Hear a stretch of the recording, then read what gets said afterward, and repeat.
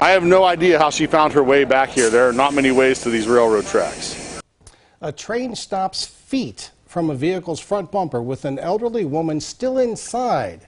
The conductor had seen the vehicle on the tracks and slammed on the brakes. Good evening, I'm Dave Sess. I'm Lindsay Watson. We begin with this miraculous story out of Girard. A woman safe tonight after her SUV was stuck on the second set of tracks near the old Ohio Leatherworks site. Just heard the policeman says it was an area that was pretty hard to get to.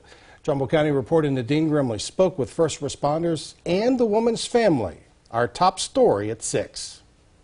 we stopped, we dumped the train, put all the brakes on, we just came right here. An elderly woman narrowly escaped being hit by a train thanks to an attentive conductor who spotted her SUV with its lights off, stuck on the tracks, and got the train to stop just feet from her front bumper.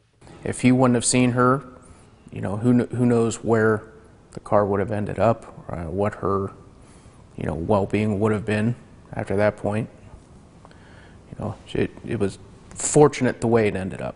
Police were sent to the tracks around 8:45 Monday night. Police body camera video captured the conversation between officers and the 80-year-old driver from Dover, a city about an hour and a half away from Girard. I don't know. I just out driving around and got lost and How'd you end up on the railroad tracks? I did. You're on the rail man, that's a that's a train. Look in front of you. That's a train. Is he coming towards me? It won't stop right now, ma'am. Oh, thank you.